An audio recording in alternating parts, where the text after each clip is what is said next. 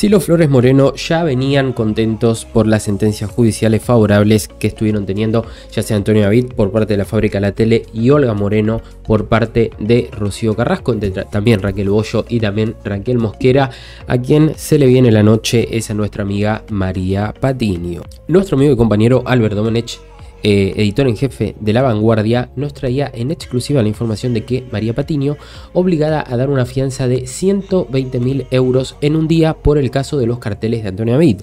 Esto no es una cifra que eh, Patiño tenga que transferirle a eh, Antonio David Flores porque ganó, etcétera, etcétera lo que es lo que pide el juzgado para garantizar que el proceso se lleve a cabo, ¿no? Y como es una querella penal, que María Patiño podría ir a prisión por esto, se necesita de esa fianza para que la señorita, ¿no? Señora, pueda demostrar su inocencia. Un golpe muy, muy fuerte, sinceramente, porque en el día de ayer María Patiño se estaba quejando por un tema de, ropas, ¿no? La veíamos, la veíamos muy mal, incluso llegó a decir que ella trabajaba 20 años y que toda su puta vida, perdón por la expresión, em, se partió el lomo para que ahora la saquen de Sálvame, etcétera, etcétera. Un escándalo terrible y ahora estamos viendo la, reacción de, de María Patiño, las primeras palabras después de enterarse que va a tener que desembolsar, porque ayer todo este meollo desembocó por un tema de ropas.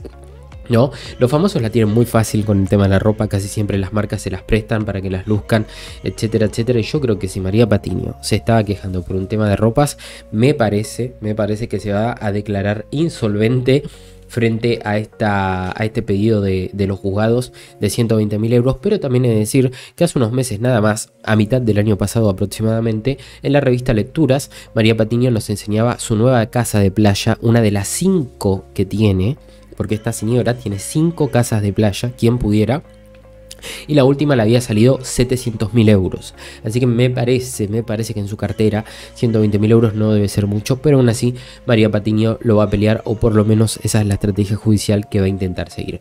Por parte de Antonio David puede estar muy tranquilo porque si el juzgado pide 120 mil euros a María Patiño es muy probable que esta demanda la gane. Es difícil que la condenen a tres años de cárcel, que es la pena mínima por la que ingresaría a prisión, pero las esperanzas nunca se pierden y Antonio Benítez se va a llevar un buen pastón para su cartera cuando este juicio finalice. Por parte de María Patiño, ahí la vemos llorando delante de cámara porque cuando mal andas, mal acabas. Sin mucho más que añadir, nos vemos en el siguiente video. No olvidéis suscribiros, comentar y nos vemos en la siguiente noticia. Hasta otra.